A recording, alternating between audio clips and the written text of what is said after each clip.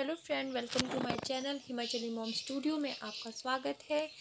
तो आज ये देखिए ये अभी तक मैंने आपको अपने फ्लावर्स दिखाए क्योंकि अब मेरे रोज़ेज़ में अभी जो है देखो ये फूल आ गए हैं और कुछ कुछ में अभी नहीं आए हैं।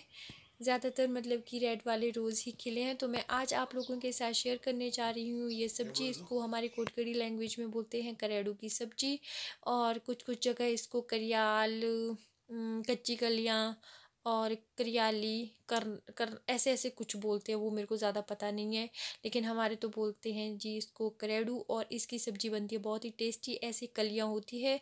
थोड़े बहुत जो ये फूल फूल भी चल पड़ते हैं, लेकिन ज़्यादातर इसके जो ये बर्ड्स होते हैं, कलियाँ होती हैं, इनको ही हम यूज़ करते हैं और बहुत ज़्यादा ही टेस्टी होती है ये सब्ज़ी। अभी हमने लाई थी तो अभी हमने ये छाँट के ऐसे रखी है, फिर हम इसको अच्छे से दो तीन पानी से वॉश कर लेंगे और उसके बाद इसको प्रेशर कुकर में डाल के और इसमें पानी डाल के, हल्का सा नमक डाल के इसको एक सीटी आने तक बॉईल कर देंगे और उसके बाद फिर इसका पानी जो है इस तरह से सारा छान लेंगे और इसके बाद ये हम ऐसे इसको एक बर्तन में ले लेंगे और उसके बाद इसका पानी निचोड़ के फिर इसको ऐसे रख देंगे। हाथ से निचोड़े जाते इस तरह से, फिर ऐसी हो जाती है और उसके बाद इसको थोड़ा थोड़ा सा हल्का हल्का सा चाकू से काट लेंगे। और उसके बाद फिर इसको फ्राई कर देंगे। फ्राई करने के लिए मैंने लिया यहाँ पे मस्टर्ड ऑयल और मस्टर्ड ऑयल को पहले उसका मैंने धुआँ निकाल दिया। उसके बाद मैंने इसमें डाल दिए हैं हल्का गरम रखा था मैंने, उसमें डाल दिए मैंने ये सूखा धनिया और मेथी। दोनों ही सूखे मसाले ले लिए थे मैंने इसमें। फिर और इसके बाद मैं इसमें डाल दूँगी लाल मिर्च, वो भी सूखी लाल मिर्च। सूखी लाल मिर्च का इसमें कुछ अलग ही टेस्ट आता है और उसके बाद मैं इसमें डाल दूँगी लहसुन।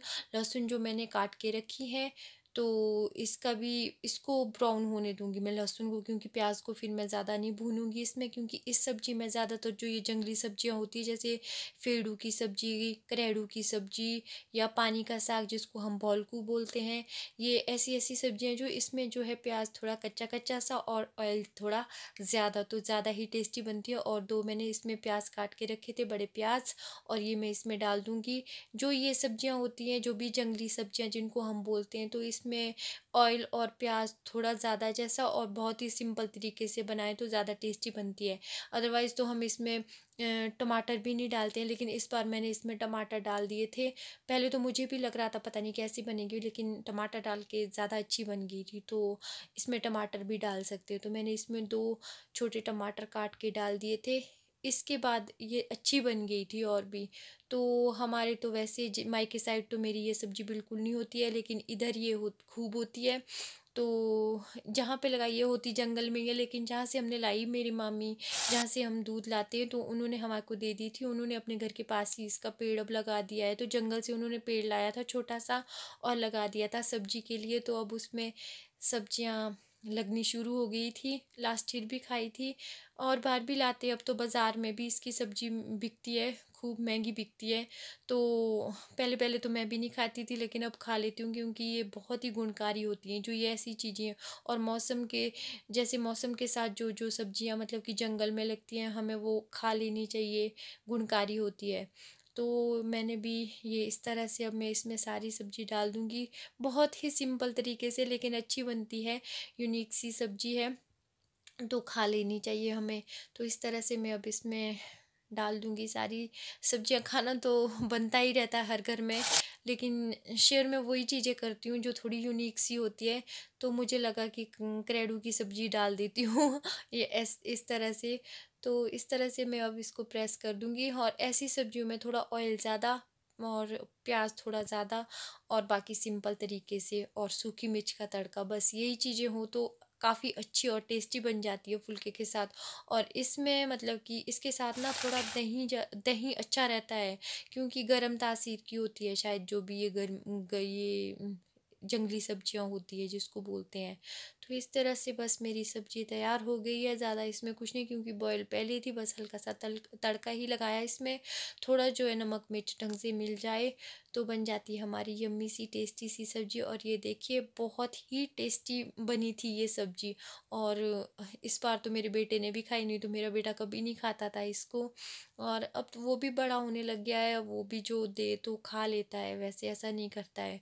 और फिर उसके बाद देखो ये ये देखो ये, वो येलो वाला फ्लावर भी खिल चुका है।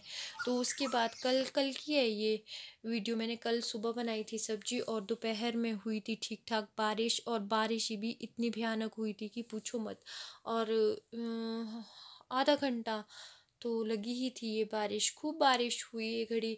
एक घड़ी तो ऐसे लग रहा था जैसे छत ही टूट जाएगी क्योंकि छत के ऊपर मोटे मोटे पानी की आवाज़ बहुत ही ज़्यादा वो आ रही थी और अच्छा भी लग रहा था लेकिन हवा के साथ फिर ऐसी बारिश, हवा, तूफ़ान सब कुछ इकट्ठा इकट्ठा हो गया था। हल्का हल्का ओला भी आया लेकिन ऊपर भरेड़ी साइड बहुत ज़्यादा वो ओला आया, बोलते उधर को बहुत ज़्यादा ओला आया और उधर से अभी मतलब कि चरियों की फ़सल भी अब तैयार होने वाली है तो इस टाइम मतलब कि ये देखो वो वाइट फ्लावर ये भी अब थोड़ा थोड़ा खिलने लग गया है। तो मतलब कि अभी तो बिल्कुल भी नहीं चाहिए फ़सलों के ऊपर तो अभी ओला वगैरह बिल्कुल नहीं चाहिए। हवा से भी वैसे डैमेज हो ही जाती है। कच्ची फ़सल मतलब कि कच्चा फ्रूट है ये चेरीज़ वगैरह फिर इसमें थोड़ा ध्यान रखना पड़ता है। तो अभी कुछ लोगों ने जालियाँ डाली भी नहीं है, जिन्होंने डाल दिए, चलो उनके तो हो भी जाएगा थोड़ा मतलब कि अब सेफ्टी जैसा। तो ऐसे पेड़ भी ऐसे हिल रहे थे, ये देखो, डर ही लग रहा था और ऊपर से बिजली भी चमक रही थी, सब कुछ इकट्ठा इकट्ठा हो रहा था। तो इतनी बारिश हुई और उसके बाद ठंड हो गई। दो दिन से तो थोड़ा फिर भी ठीक हो गया था मौसम, लेकिन आज तो फिर मतलब कि आज भी ठंडी थी, कल तो फिर थी ही। तो ये थी मेरी आज की छोटी सी वीडियो। और अगर आपको मेरी वीडियो पसंद आती है तो प्लीज़ लाइक कीजिएगा और सब्सक्राइब्स भी कीजिएगा और शेयर करना ना भूलें। Thank you.